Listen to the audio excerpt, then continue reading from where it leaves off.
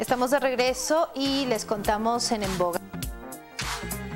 Esa SICA eligió al mejor maestro ceramiquero que competirá en el Campeonato Nacional en Quito para luego elegir a un ganador que representará al Ecuador en el Torneo Mundial de China.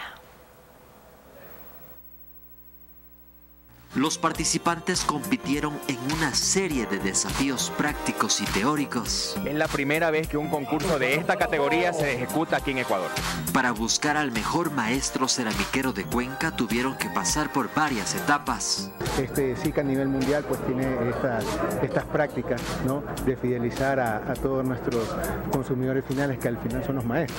Con destreza los concursantes demostraron su habilidad para cortar placas de cerámica en la segunda etapa. En la cual ellos tenían que cortar al ojo una medida de una cerámica que calce en una placa que ya estaba pegada. Ellos, los maestros normalmente tienen mucha destreza hacerlo eh, sin la medición. Luego el jurado tuvo que elegir a los seis más destacados para competir en una prueba de aplicación.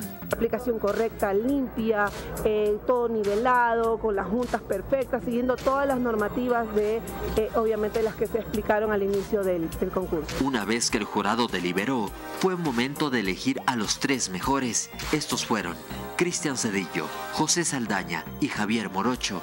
Uno de ellos competirá en el campeonato nacional. El primer puesto se lo lleva, se lo lleva Cristian Cedillo. Eh, emocionado porque quedé en primer lugar y me da un, un, reto de irme a participar contra las contra Guayaquil y contra Quito. También voy a ganar allá, voy a ganar allá también. Muy contento, muy agradecido a la Casa del Obrero por participar aquí. Feliz, feliz. He aprendido de esta participación y no esperaba llegar a este lugar.